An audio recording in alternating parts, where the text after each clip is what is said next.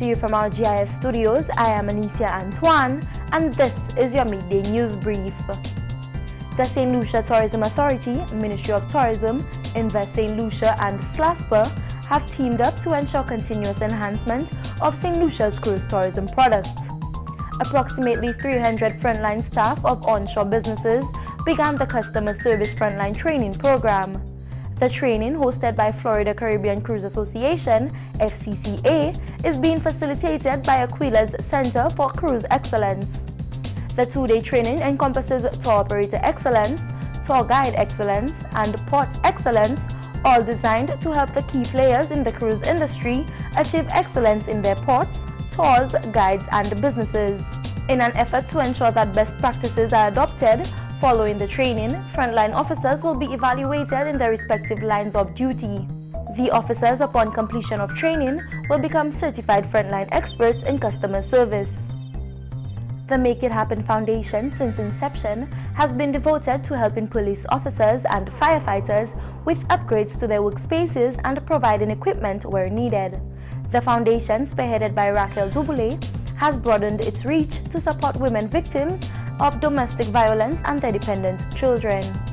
In recent years, the Women's Support Center has developed a student assistance program through which children of clients receive assistance with the acquisition of school supplies, uniforms, and in some cases, payment of school fees.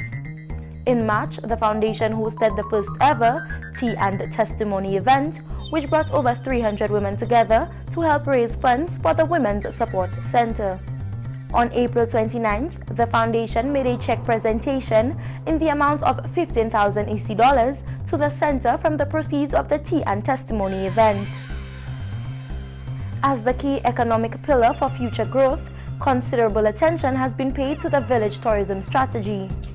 Some 20 game changers have been developed to accelerate growth in both tourist arrivals and tourist receipts. The aim is to increase stay-over tourists from 386,000 arrivals in 2017 to 541,000 by 2022. The Honorable Prime Minister, during his budget presentation, revealed that whether it is in adventure tourism, eco-tourism, heritage tourism, or wellness tourism, the country must evolve its product beyond the package-based offerings now reasonably well covered in its market. Part of the new approach is formal agreements with sharing economy providers like Airbnb.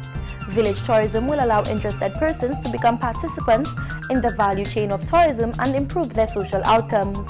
The key economic targets of the tourism sector strategy are to increase GDP contributions to 1.9 billion by 2022, attract investments of 3.5 billion by 2022, and create over 4,000 jobs by 2022. This has been your Midday News Brief. Thank you for watching.